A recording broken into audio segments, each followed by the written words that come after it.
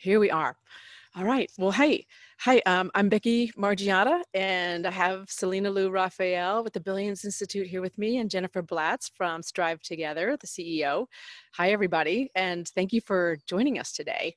Um, Strive Together and Billions Institute, we're really excited to be doing this. So, here's this emerged organically in a conversation we've been doing half hour free free consults with any organization who's in the just who's in the midst of of, of scaling or of recalibrating and uh, in different ways. And we ended up talking with some of Jennifer's colleagues at uh, Strive Together and just started brainstorming of what could we do. And this emerged out of this. So I'm excited to be doing it uh, again and again and again. My thoughts have gone to this is a unique moment for systems change. And I've heard from all kinds of sectors, people in telemedicine who said uh, in the National Health Service in England saying things we thought would take us 10 years, took us 10 days.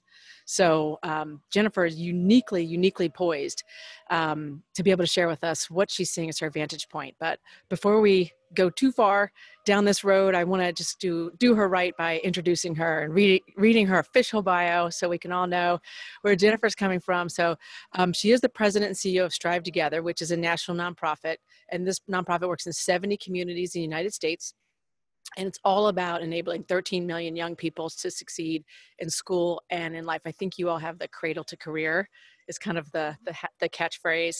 Um, she's a nationally recognized leader and expert in building place-based based partnerships. And for 20 years now, she's been designing, developing, and implementing strategies that drive large scale community improvement.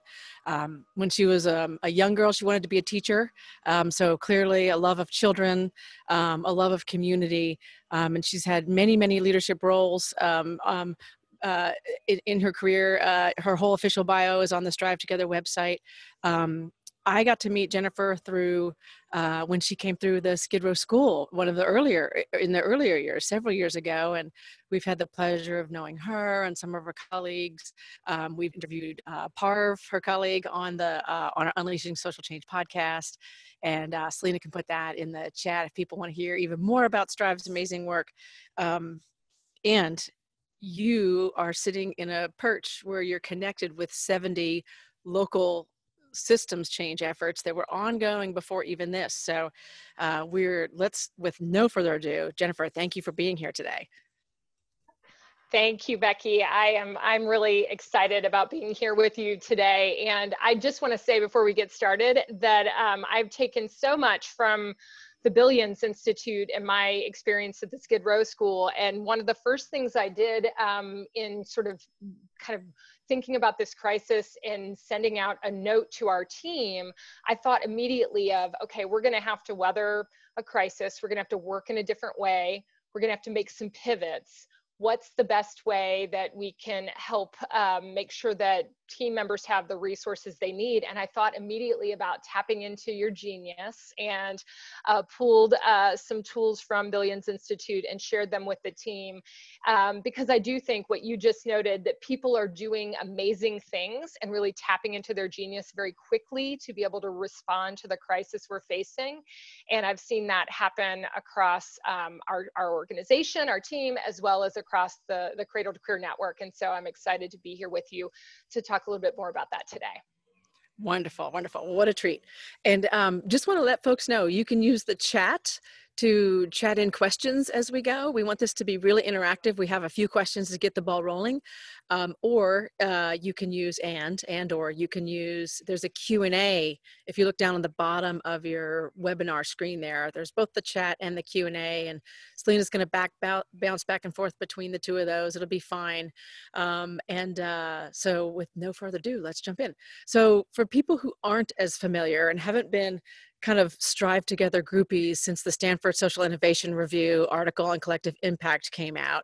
Jennifer, can you tell us just a little bit about Strive Together's mission and purpose, what you all really do in the world, and the, the least jargony terms possible?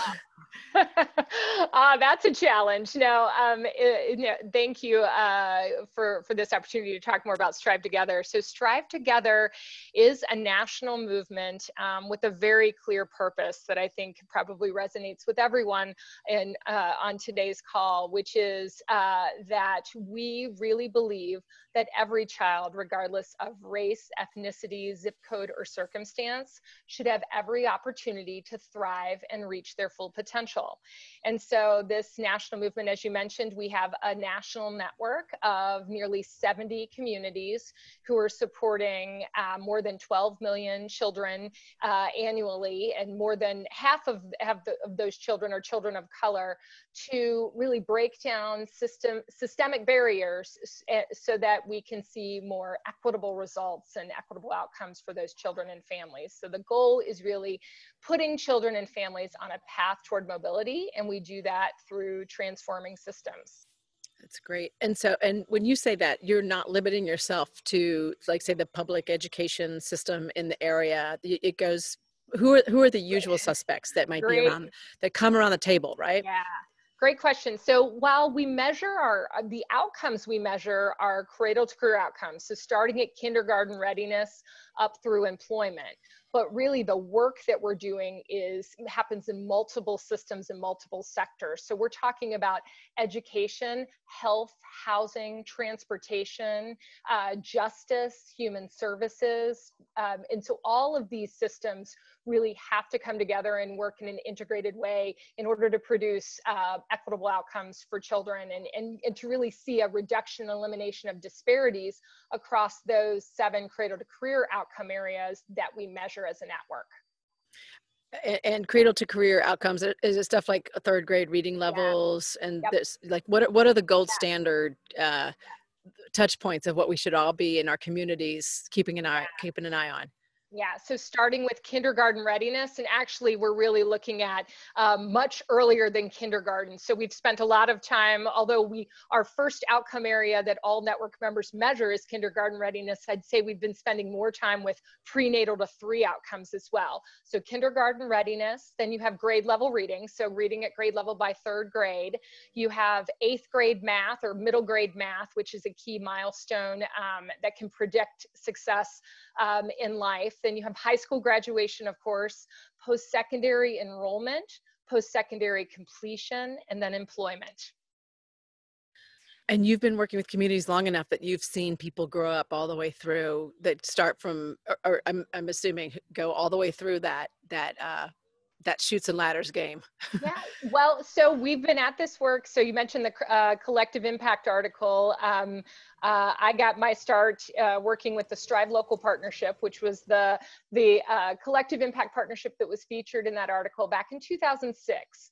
And so um, we've been doing this work for more than a decade. Um, certainly there are populations of, of children who have, who have come up uh, through systems during that time, but in each of our partnerships across our, our network of of nearly 70, really they're looking at where they use data to, to identify where are the key target populations that uh, that they need to focus on in their particular community and really are focused on target populations across that cradle to career continuum and the myriad systems that uh, have to work together in order to improve outcomes across uh, each of those uh, those indicators Got it. And the, and I'm assuming those target the populations would be those that are furthest situated from opportunity in some way in that community. It's so it's it's unique yeah. and bespoke to each community.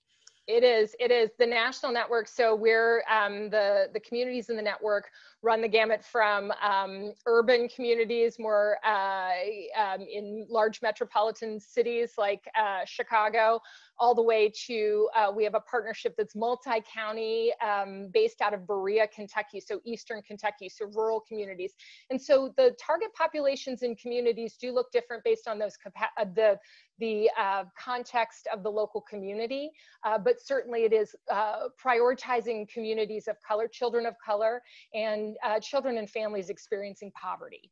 Got it. Got it. By the way, shout out to Berea. After I graduated from college, my parents moved to Richmond, and we used to have to drive by Berea, and that is a um, a, a, a town to watch. Yes. For sure, right? They're really it, doing some neat stuff. It is. Partners for Education is the partnership there um, that's uh, based in out of Berea, but like I said, it's a multi-county uh, rural promise neighborhood, and it's really shaping how we think about uh, the work that we're doing in communities to in rural communities across the country. So Dreama Gentry, who leads that partnership, is uh, one of my heroes, and is just a really great, uh, great systems leader in this work. Wonderful, wonderful. Thank you, Jennifer. Okay, so for everyone who's listening, Jennifer's and her people, you're all the people you know and love and have known for years, they've got their hands in every cookie jar of systems change imaginable. And if, like me, you are uh, thoroughly distraught by what is happening in the world, both on an emotional toll, but also just um, uh, just beside myself at the incompetence I'm seeing at the at the federal level. This is like one of the few things that gives me hope, and the the possibility of uh, communities locally communities coming together in different ways and forging things and so um, one of the best ways that uh, change can spread is through dan heath talks about bright spots of and i will tell you let me just do a quick timeout because when i was working on homelessness Phoenix, Arizona could house anybody anywhere 10 days or less, period, boom, done. Veterans, like 10 days, they're like, got it. And I knew Phoenix could house people in 10 days or less. And most cities that I worked with could house veterans in nine months or more.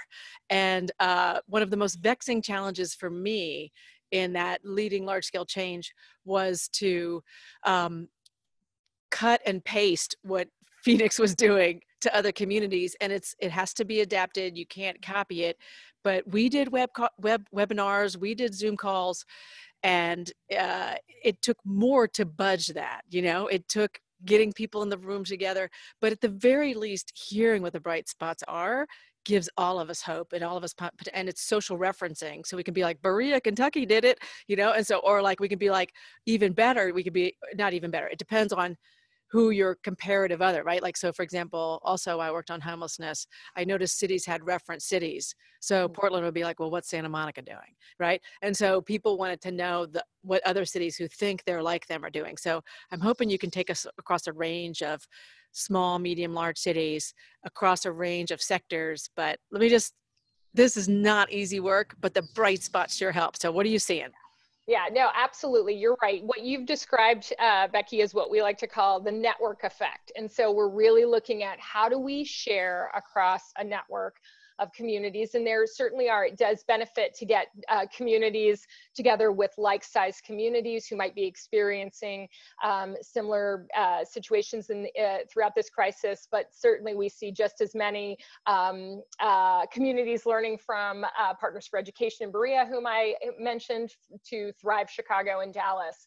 Um, and I think what I'm, what we're seeing the most, uh, I mean, it, it runs the gamut. And so I'm, I'm actually trying to do uh, what I'm trying to do right now has been to talk with each of our network members individually. And I think we've hit more than half of the, the network of nearly 70 over the last few weeks to really understand some of the stories that they're uh, seeing on the ground. And some of the common key themes that we see across communities are issues that, as you uh, referenced, um, while not surprising to us, it just infuriating when you think of the systemic inequities that we knew existed in, in communities are just being magnified that much more.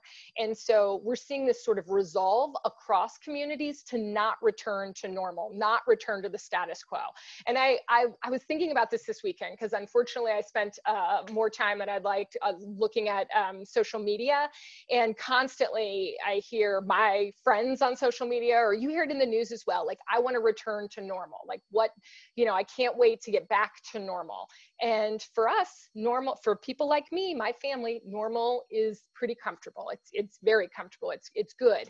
Normal for the majority of americans is not good. So what we're seeing in communities across our network is this resolve about not returning to the status quo, creating a new normal. And really what that looks like is transforming systems in a way that we've not transformed them in the past, that we've, you know, if, if I know at, at Billions, um, uh, you share the, we share a lot of the same DNA uh, around continuous quality improvement and the idea that every system is perfectly designed to get the results it gets. And so what we're seeing right now in communities is um, systems designed to get really bad results.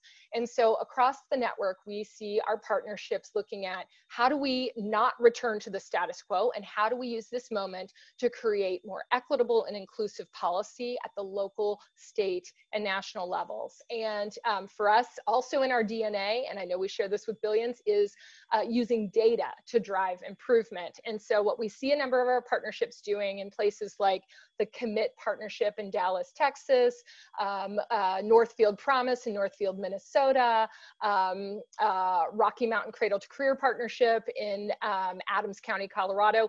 Uh, across the network, we see partnerships using data, and they're they're using the data that they can really quickly gather and the capacity they have to use data to create heat maps to show where is the digital divide um, and to show where are where are the most immediate needs as it relates to food security, and then really having strategic conversations not only about how to get um, get the more downstream uh, immediate needs um, uh, solved for, but but referring to Dan Heath and his new book around upstream, these conversations that these partnerships are having with local community stakeholders is how do we transform systems so that they are more equitable uh, going forward. And so an example um, that our, our partnership in, in uh, Dallas County, uh, the Commit Partnership shared is they're using those heat maps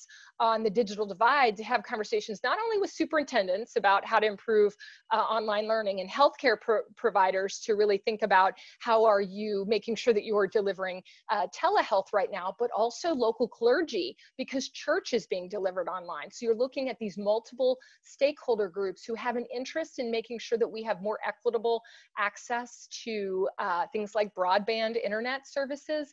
And that's something we can easily do. And that's something that should be a no-brainer. So it's those kind of examples. Um, I'll share a few more examples um, very quickly, uh, but um, another example that comes to mind as, as a bright spot is our Promise partnerships in Salt Lake. And as you were talking about housing and all of the work that you did as it relates to homelessness, I know that you agree that even outside of a pandemic, um, housing stabi stability is health care, is, is equals health. And now in a pandemic, when we're being told to shelter in place, it's uh, clear to everyone that housing stability is, equals healthcare, equals uh, access to health. And so um, in the Promise Partnerships of Salt Lake, they have been working with a lot of the um, rent assistance agencies and, and working to uh, bring them together with city and county officials to make sure that, um, that rent assistance is accessible by the populations that need them the most. And really in that community, they're thinking about undocumented residents who wouldn't necessarily have access uh, to the benefits that are available to them during this time the same types of um, uh, conversations are happening in, in Shelby County, uh, Memphis, Memphis, Tennessee, Shelby County. Our partnership there, Seeding Success, had been doing a lot of work uh, around the historical uh, eviction data and the contribution to the poor education outcomes there when you look at housing stability. And so now they're using that data to look at how are they partnering to uh, get more access to uh, local and state dollars to support more equitable housing policies. Because again, these these systems, as you asked about in the early stage, they're not inter, they're they're more inter they've always been interdependent, but now in a crisis, we just see that interdependence so much more clearly. Yeah, that's great. Right, like and and um, it also seems like that systems in some cases if they're not doing something like a strive together partnership um, can just sort of shrug shrug something off as an externality right? Like you've got to everything has to be internal to the system you're trying to solve. So it's just it's this is like so typical but where a school will just shrug off and be like we can't control everything right? Like we can only control what happens while they're here or you know like that type of mindset. Yeah. Yes and I, that's what happens in a crisis. I think that's another piece i mean that happens all the time i should say that but especially in a crisis. And i think we can we can all understand how overwhelmed our school systems are right now. I think of my own three children and, and quickly the district made a decision one day to go to online and then by monday teachers were teaching online. And so the sort of figuring out all of all of that. And i'm, I'm hearing this from some of our partnerships and communities um, concerned about how do we not overwhelm uh, the district the district doesn't want to hear from me right now because um, they're overwhelmed as is. Or um, similar very i mean obviously our healthcare systems are completely overwhelmed in this crisis. Um, but so I think the role that uh, these cradle to career partnerships can play in lifting up, and this gets to really um, sort of what what we'll do differently this time as we build um, as we work through recovery because we've we've been through crises before as a country and clearly we have not built um, neither resilient nor equitable systems. And so really uh, giving voice and um, to to residents to community in a different way. And so what we've been helping our partnerships to think about is how do you the system is going to isolate itself it's going to make decisions it's going to respond immediately. How do you bring community voice into these conversations and really um, uh, ensure that they're authorized to be informing the solutions this time. And so it is about storytelling, lifting up these examples, bringing the data, um, and and talking about what needs to be different. If we do agree, which I do think a, a greater part of the country agrees that we cannot go back to uh, the status quo and back to where we were. I love it. And we're going to open this up. Selena, if you could tee up a question or two, but I just, I want to riff off what you're saying, Jennifer. So earlier this week, uh, last week, we were doing um, the interviews for season three of our podcast. And uh, I'm going to do a total spoiler alert, but we interviewed LaShawn Route Chapman and Kathleen Osta with the National Equity Project. Mm-hmm. And they were um, talking about what Gino Francesco calls rebel leadership. Have you heard about that at all? Or it's in some hidden yeah. brain podcast that I'm going to listen to today. But uh, um, but basically, they were saying is leaders don't have to come up with all the answers by themselves. They need to stand in the unknown, create a container for the un- for people to solve their own problems, knowing that it will require leaders to be humble and vulnerable and acknowledge I don't know the answer, and to be really not just vulnerable and but also really strong and say yes becky and jennifer and selena i hear your concerns and you have privilege coming out of your ears. And so i'm actually i appreciate you sharing that and i'm gonna i am i am making the conscious decision to um, give more of weight to some of the voices in the room we haven't heard from right now which just takes you know all kinds of moral courage to do that right? Um, so uh, it's like i guess i'm feeling envious of communities that already have all these people around the table. It sounds like you're encouraging those people to open up open up their table to really include the community even more.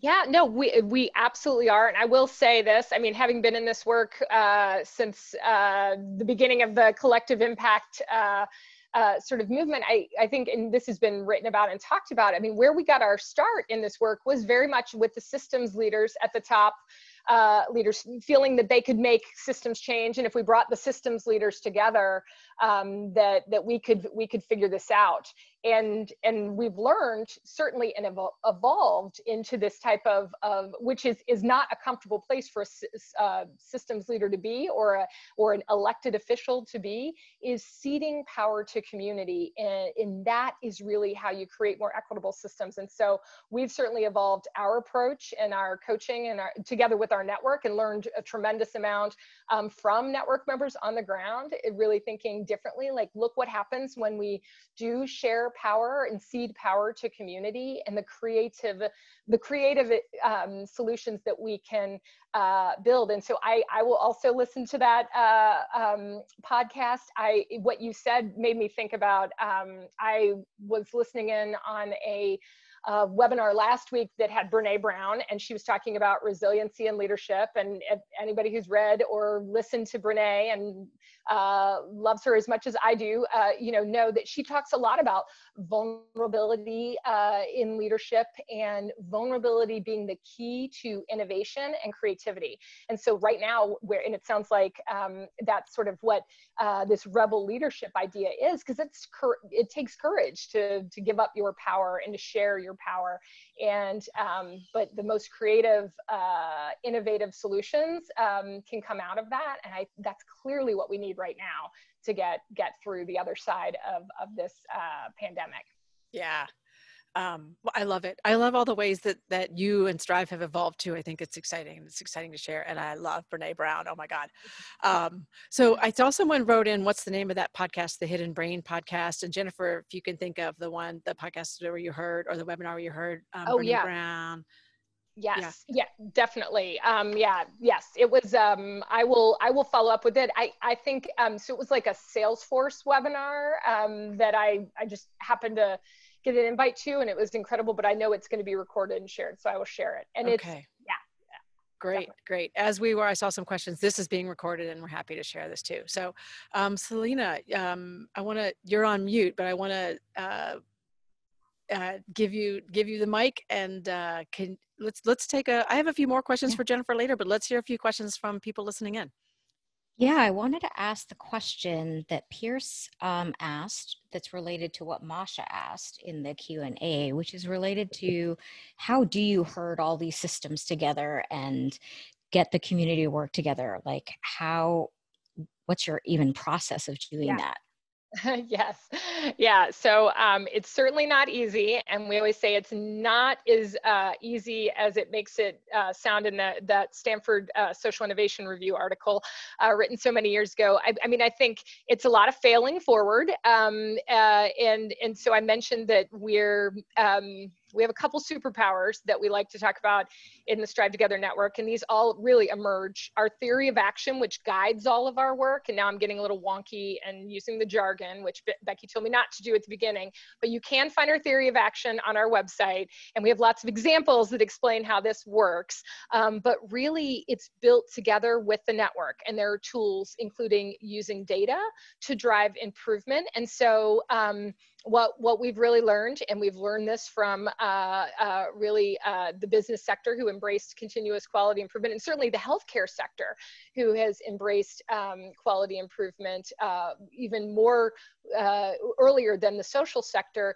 is that uh, when we use tools like holding, keeping results at the center, keeping data at the center, and you bring stakeholders together around a shared vision, um, and using that data, you can um, get systems uh, leaders to agree on improvement and change. It is not easy and there you have to always think politically. Um, I, we borrow a lot of tools. We're actually uh, trained um, uh, by the Annie Casey Foundation in their results count leadership.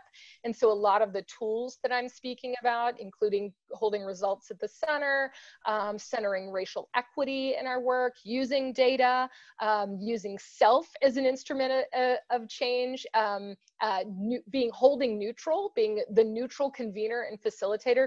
These are all results count tools that we bring into the work that we do with communities to coach them around uh, systems leaders. So our process, just to kind of sum that up, because I know that was a lot, our process is guided by our theory of action, which you can find on is on our website.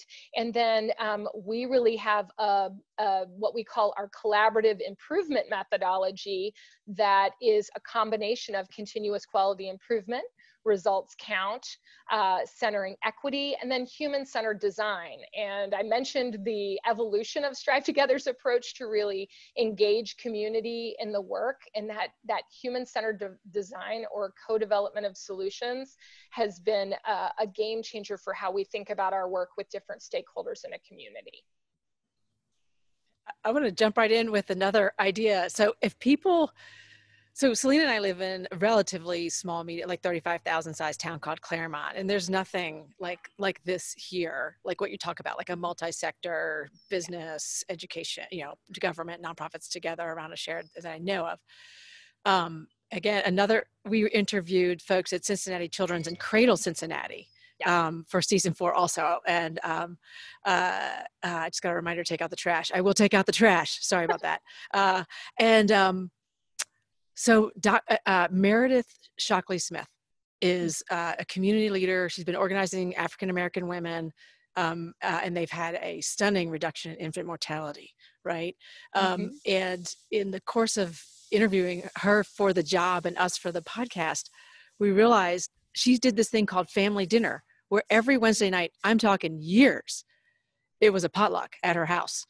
And she said over the years over 700 people came to potluck and it was anybody can come anybody can bring anybody. She i don't I, I, and i heard that and i was so inspired um and, and my my my wife and i we, like we're like okay as soon as it's safe we're doing family dinner. We're, we're picking up what meredith did.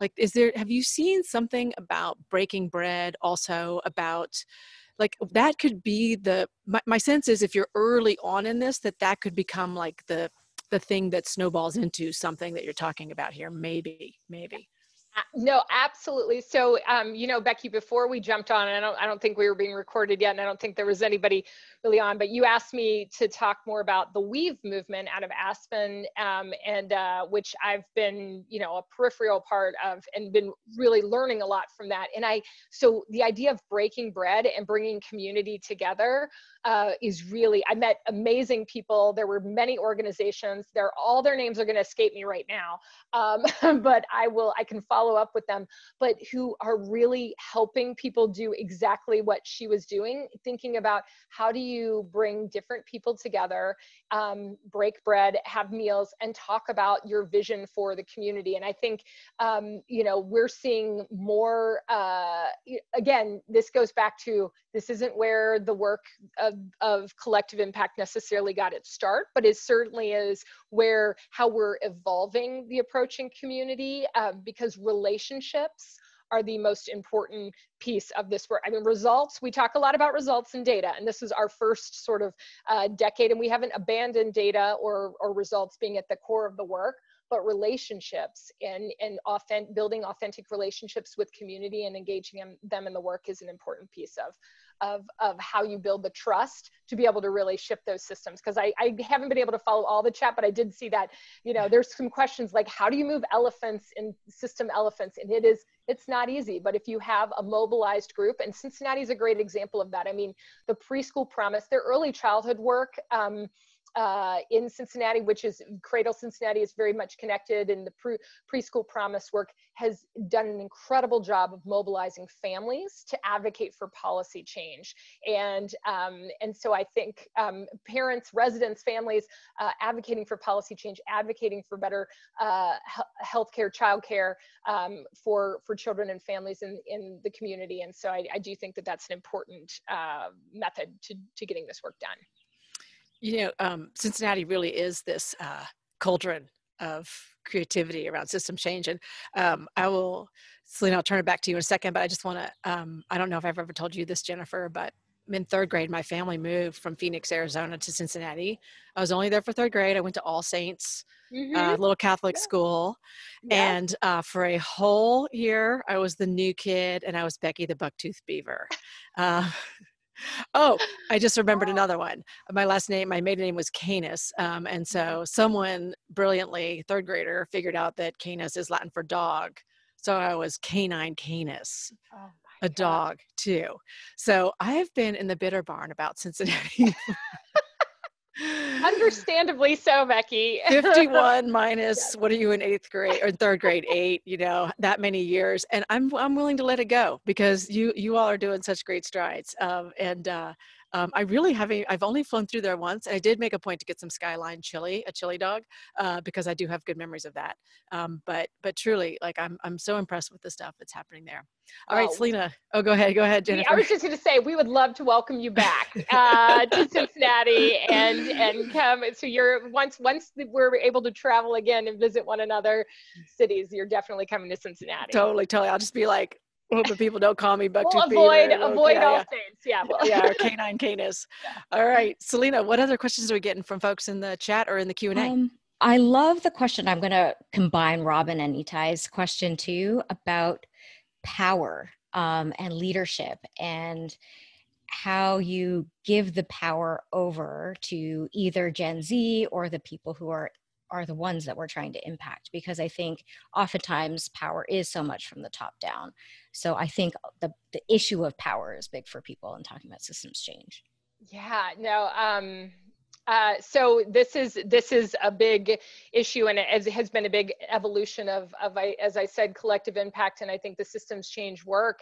And so um, some examples that we're seeing, I, I, think I always go back to the examples from the network, and um, one example that comes to mind immediately, especially through this recovery, um, is the UP partnership, which is in San Antonio, uh, Bexar County, uh, Texas, and um, they have created essentially an equitable recovery pledge that really where they're asking systems leaders partners in the community to sign on to this pledge that uh, that in, in it, it, includes uh, tenets of sharing power with community in making decisions um, in making policy. So if we think of systems change as really policy change, and we know that a lot of policy development is, hap- is going to happen right now at the local, state, and federal level, uh, how do we ensure that uh, we're sharing power and, and ceding power to community to develop policy? And, and that gets to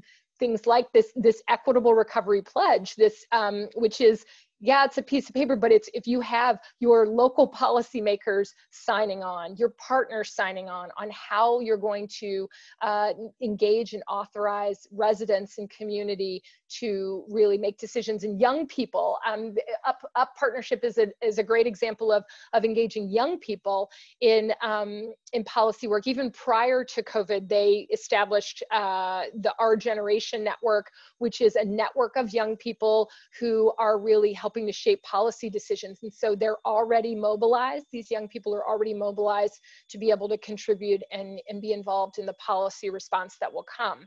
And um, the other just really quick shout out that I, if you haven't had a chance to look at um, Policy Link put together um, the a, a, set of principles for a common sense street smart recovery, and really what they're talking about in this set of principles. And, and obviously, again, um, policy is being made so quickly right now, and we saw what happened with the CARES Act. We see the inequities coming out of some of these policies that are being done, being created so quickly.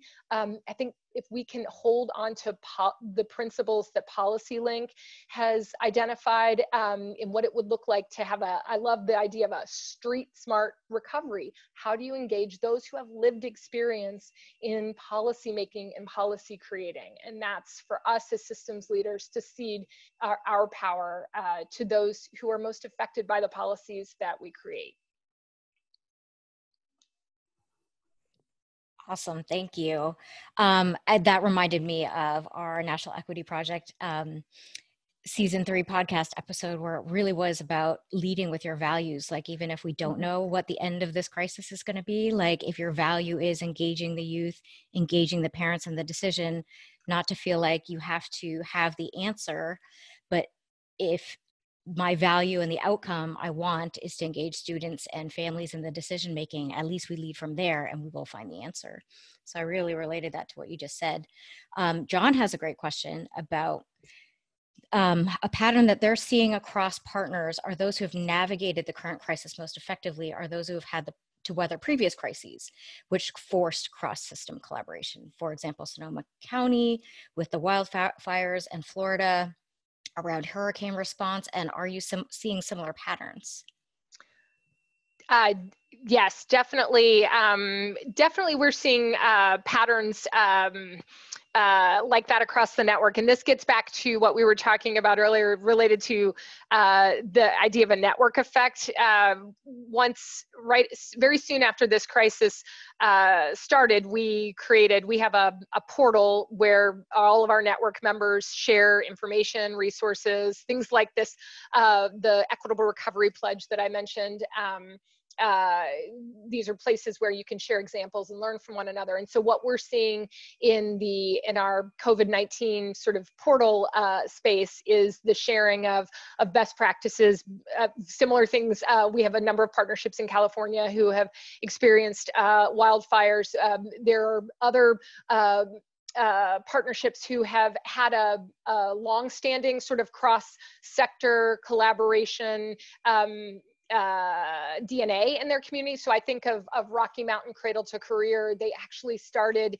in a much different way out of law enforcement. So we're talking about most our partnerships being grounded in education, but this had been a federal grant um, that was uh, actually started with the local law enforcement. So there's already that natural um, drive towards uh, towards really working cross cross sectors and cross systems, and and they are they've had a very coordinated response and they've been able to um, be very effective in their communication about the response. So I see that as an example we've been able to share across the network uh, with others who want to think about coordinating their own response and how to get in, into um, uh, alignment with other systems in, in, in their community. Great. And then I'm going to combine the first three questions that we got because they were all related to education. So one is how does how much does StriveTogether focus on social emotional learning and how is that measured? How how since COVID-19 are we focused on remote and online learning with black and brown kids and how can we get that information? And has uh, StriveTogether looked at publicly funded Montessori programs that are transforming communities in East Dallas or Hartford, Connecticut or St. Louis? I know that's a lot of questions, but that was a lot. I know education. I got, the, I got the first one on SEL and then the Montessori. I'm sorry, Selena, can you repeat the middle one so I make sure that sure. I uh, since COVID-19, what work has been happening around Black and Brown kids with oh. remote oh. and online learning? Got it. Online. Okay.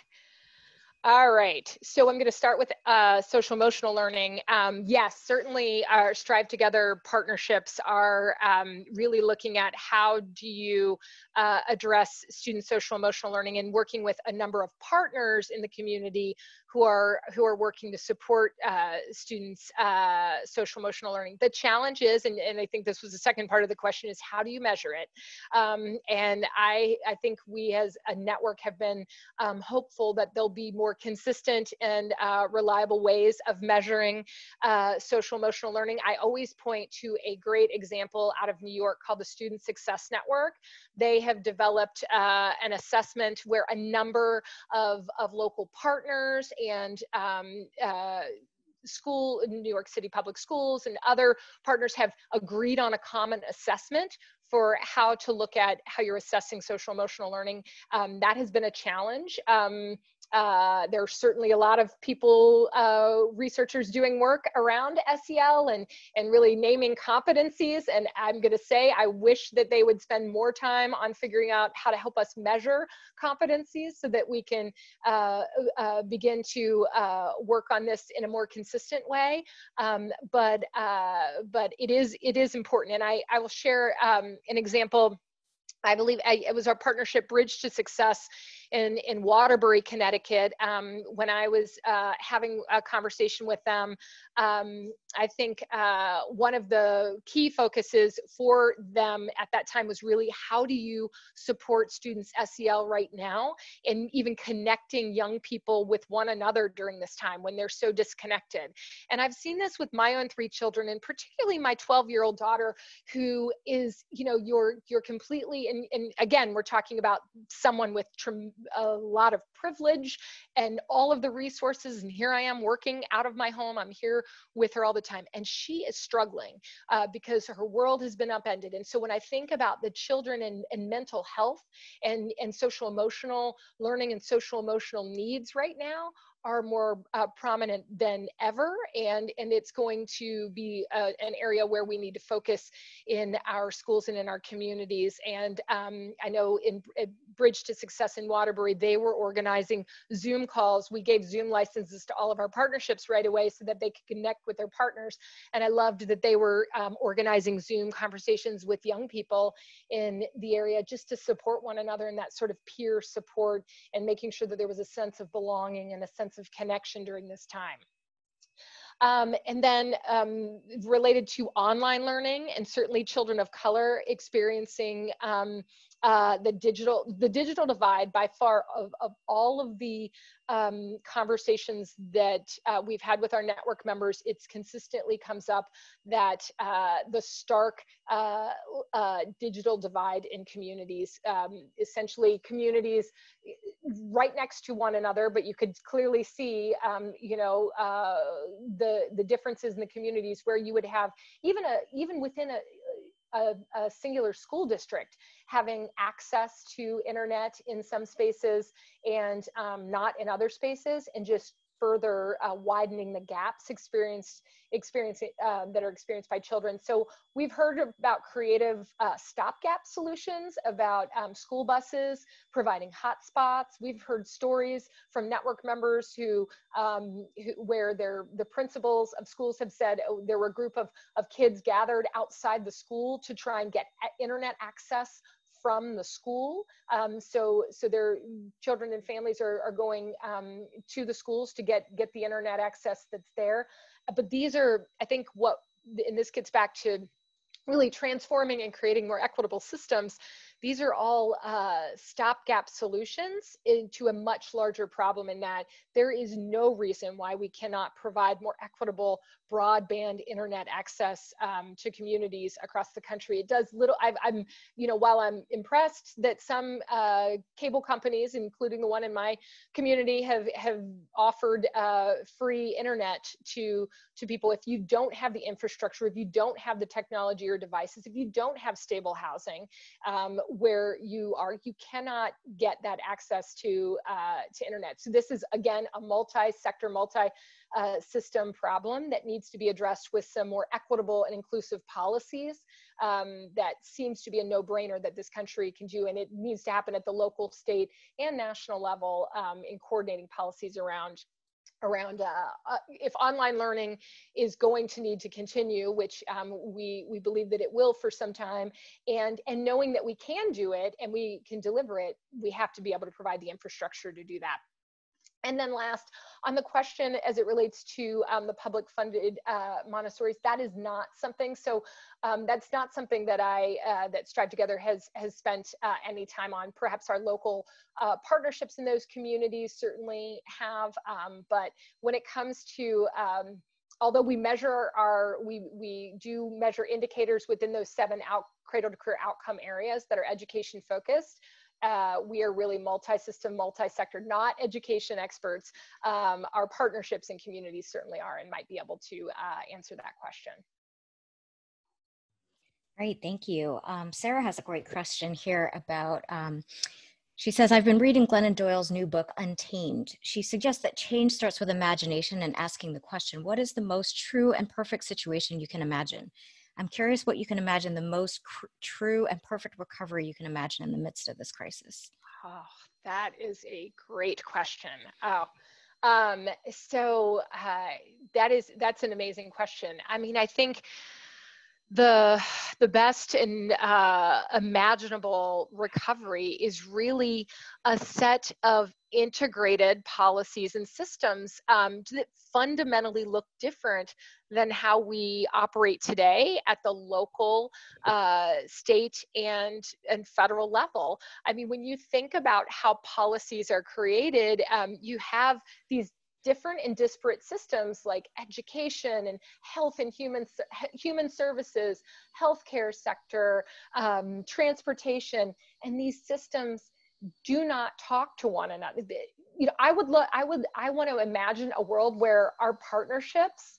Um, I mean, I love the work that we do, but I think all of our partnerships want to imagine a world where they're not necessary. But this would mean, this would require, uh, you know, just working much much differently uh, from a system standpoint. And and i do believe that that looks like more integrated and equitable policies um, in this country. And and when you think about the this country's long history of of of policies that oppress uh, certain populations, especially uh, uh, children and families of color and those experiencing poverty, this is going to mean a, just a really different way of imagining this, this country and, and how it operates. And so I do.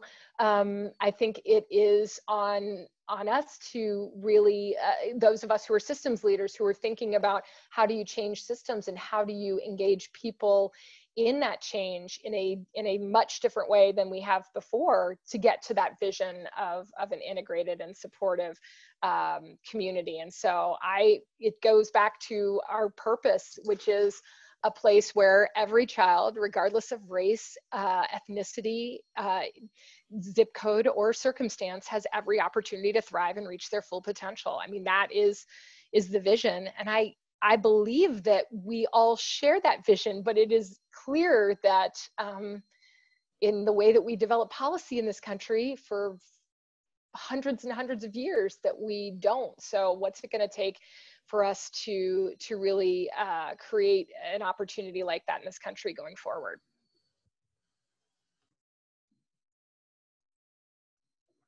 Oh, Selena, I think you're on mute.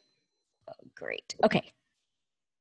I'm back, hopefully. Um, I'm going to try and combine another couple of questions because I know that we are getting short on time. I do want to try and fit these together in some way.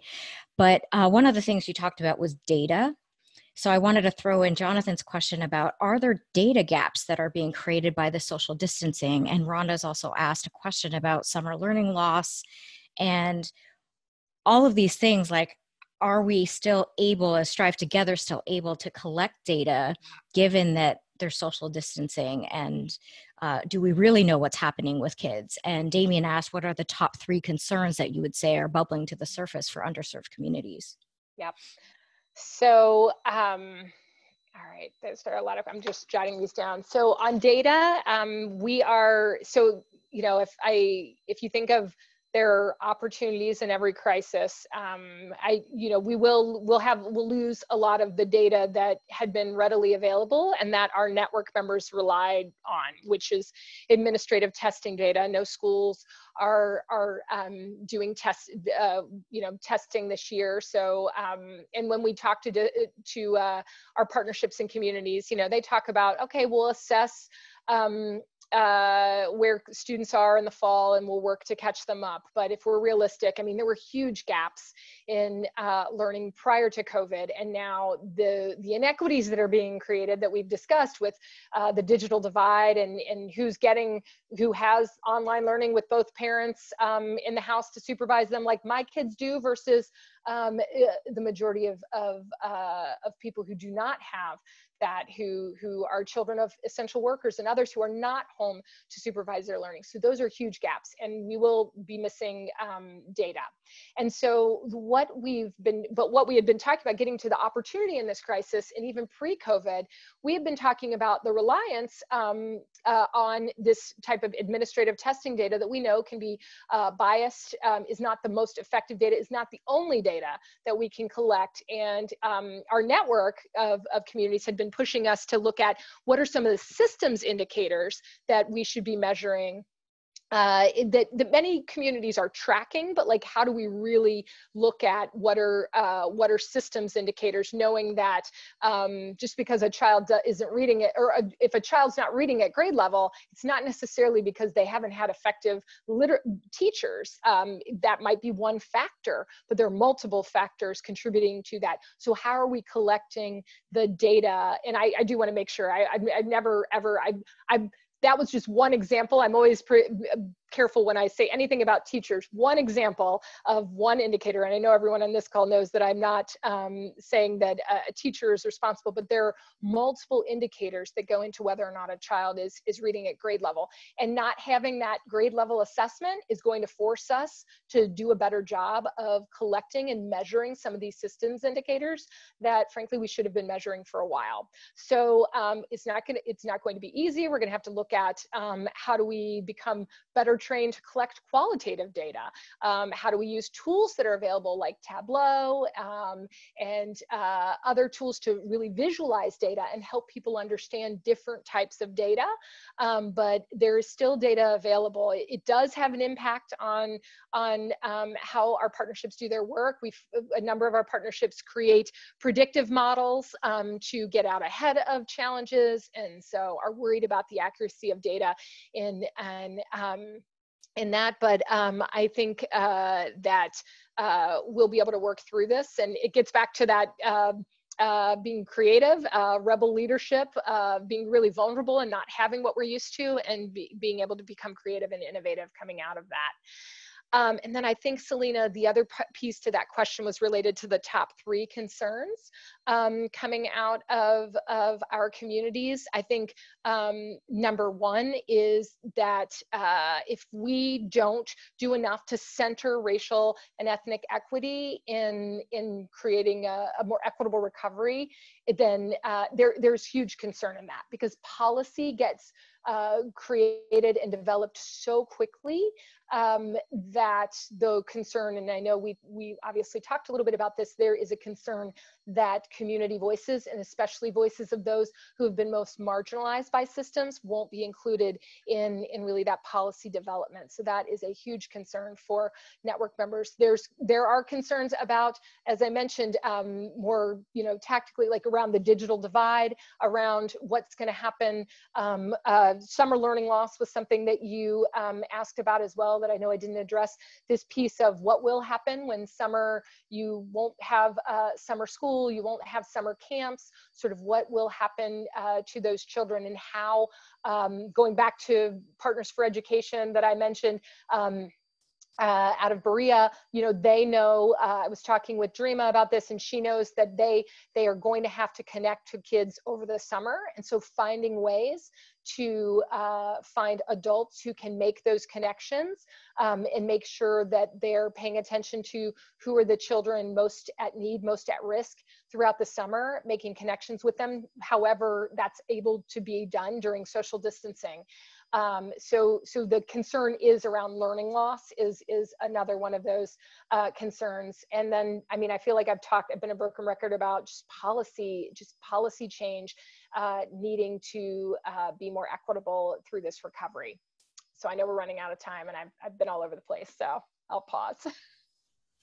No, this is great. And actually, um, I think Selena and I have been chatting to make sure Lucy's question gets answered. And I think that Lucy's is a good tee up into what I wanted to ask. And um, first of all, Jennifer, I really want to appreciate how you are able to pluck from different examples. It's the the the knowledge, the, the the institutional knowledge that's in your brain about what's working where, and your your generosity with sharing us there, and uh, I'm imagining when we send this out, we might want to send like hyperlinks to so that people can know each other, right? That that's part of.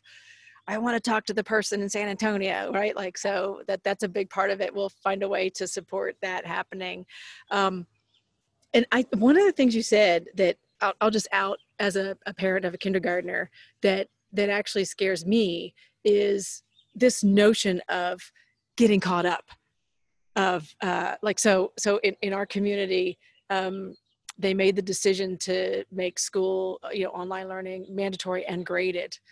Uh, and their their reason they say we have a moral obli- a moral imperative to prepare students for next year. And i am just pulling my hair out being like next year is made up dude. It's just completely made up. So how about you just teach the kids you get right like this is and um, so anyways you can see i'm feeling like yeah. kind of pissy about this but it's just all made up so i feel like the constructs and these implicit ideas are being revealed that it's more important that a kid be ready for some arbitrary timeline yes. than that the system shaped to the child and i also want to just uh, throw in uh, i've been working for years now we've been working for years with sonoma county office of education and every week, multiple times a week, students are asked, school was so interesting today, I wanted to come back tomorrow, essentially. Um, yeah. and, and answered on a Likert scale. And uh, I'm talking from like third grade to high school seniors and disaggregated by a, a whole host of demographic factors. And they've been working, how can we um, how can we reshape what we do as a district, a school, and a classroom, um, and supports to the students. I feel like there's this this huge opportunity here of this gets to Lucy's questions and what do we need to dial up and dial down yeah. so that we can really, really not only make the systems change, but make those systems change more equitable and more just yeah. too.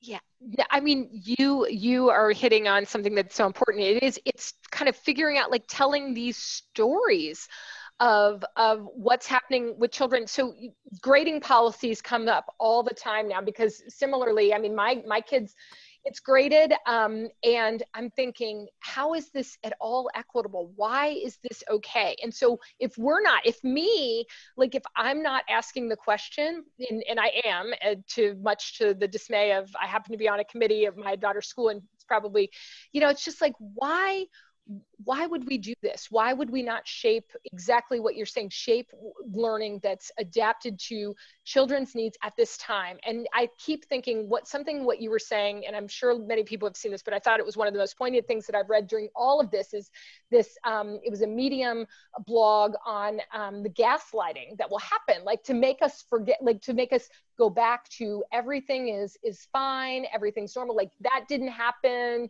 this didn't happen yeah. and to, when i think of that it makes me want to scream. I'm thinking how can we have to remember this happened and we have to know that we can be better we can be a better more equitable society. I i it's hard to like when you look at what's going on in, in government to, to think that that's possible. But if if we believe that if we as system those who are who are helping support communities uh, do systems work and if communities believe that i believe that it can be done. And so that's what i'm holding hope uh, uh, on for all of this. And um, it was just so great to be with you today becky and, and thank you yes yes, yes. And I'm hearing hold on to your truth, question yes. everything, yes. question everything, and just like think about kids being like, hurry up, catch up. They already rush them enough as it is, you know, right? Yes. Like, like th- put yourself in the position of, um, of the, the person really, right? Like be, and, and, and cede power, open it up, stay curious that these have been themes throughout and so i saw lucy just shared the medium yes. uh, the uh, gaslighting piece in the chat. Yeah. thank you lucy. And um, jennifer thank you so so much. Uh, this has been so educational and such a gift. Thank you thank you and and may all your good work and the work of all your partnerships uh, continue and thrive. And uh, really i i love uh, maybe we can do a follow-up one like say six months from now. That'd be awesome would love to do that. Thank you so much. Thanks for being. Yeah, and thank you for everyone who was listening. And yeah. uh, I want to throw a poll up too and say like, do you want more stuff like this? I think uh, let's see if we can. Uh, uh, if if you want more, let us know, um, and uh, we can we can create more things like this. So thank you all for joining us. Thank you. Thank you. We'll send a recording out soon. I should have put the poll up sooner, but we'll just Maybe we could tell a joke while we're giving people time to do the poll and uh, go back to go back to their busy busy work. Uh. Um, Jennifer, um, thank you. Thank oh you. my thank gosh. You. Thank you, Becky. No, this was great. There, yeah, it's so awesome to be able to share. Um, so there were many examples that I was like, ah, I forgot that one. I forgot that one. But we just, people are doing really incredible things. So thanks for the opportunity to be able to share that oh yeah yeah and you're just like oh here they're doing this there they're yeah. doing that and and uh, i mean meanwhile we would just love to get one of these started in our community you know and, and even the work in sonoma which i think is beautiful it's yeah. just it is it's being funded by different sectors and so that's there's that level of engagement and they're all going to come to the next friday is the what do we learn session yeah but it's but but I, you got me thinking maybe the next iteration is actually that those others stakeholders in the room as we're facing into the data too you know so. Yes Great. definitely. Well and i see we have 100% of people would like more webinars like this. So all right um, good. A plus for jennifer and strive.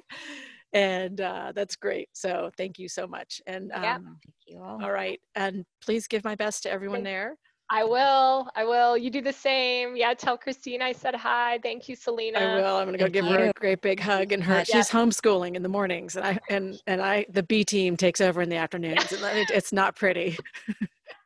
I'm right there with you. My husband's like, luckily, it, oh, it's just a mess. I've yeah. when I have to do it, it's it's mess. So yeah. I'm like there, so it's bad. It's not pretty. Ah. All right. Well, all right. Take mwah. care. Okay. Bye. Bye. Guys. All right. Bye-bye. Bye.